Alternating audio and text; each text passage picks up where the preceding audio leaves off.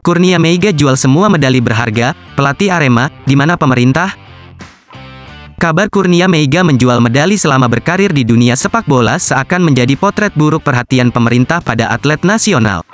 Pelatih Arema FC Putu Gede mengatakan, langkah Kurnia Meiga menjual seluruh medali cukup mengejutkan. Kondisi itu semakin menambah daftar panjang atlet ataupun mantan atlet yang seakan kurang mendapatkan perhatian dari pemerintah. Turut prihatin, Ya saya pikir di semua bidang kita sangat enggak menghargai jasa bukan hanya pesepak bola, banyak atlet yang sudah membawa nama Indonesia tapi kurang perhatian. Ujar Putu Gede ditemui usai memimpin latihan di Stadion Gajayana, Kota Malang, Kamis tanggal 11 Mei tahun 2023.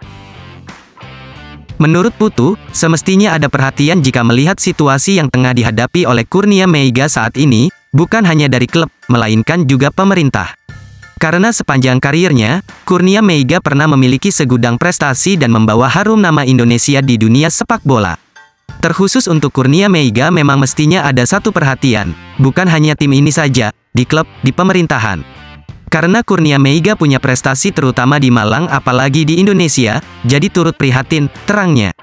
Hal sama juga disampaikan oleh asisten pelatih Arema FC Joko Susilo, ia menyebut, pemerintah wajib hadir untuk mengatasi persoalan yang dihadapi oleh Kurnia Meiga.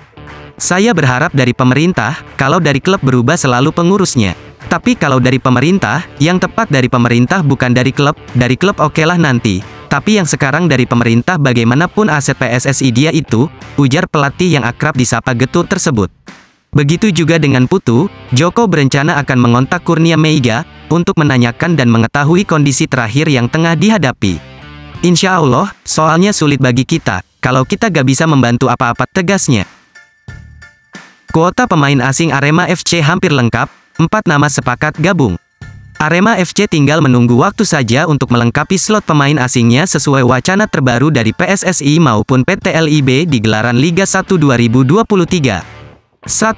Gustavo Almeida Gustavo Almeida merupakan striker asal Brasil yang diproyeksikan bakal menggantikan peran Abel Camara di ujung tombak Arema FC. Harga pasaran Gustavo Almeida tak terlalu mahal, yakni 2,61 miliar saat masih membela negeri 9 FC bisa dijangkau dengan mudah oleh Arema FC untuk gelaran Liga 1 2023. 2. Yukiya Sugita Yukiya Sugita merupakan winger asal Jepang yang diyakini bakal menambah daya gedor Arema FC untuk gelaran Liga 1 2023 mendatang. Arema FC hanya perlu merogoh kocek sedalam 5,21 miliar untuk jasa Yukiya Sugita di Liga 1 2023 nanti. 3.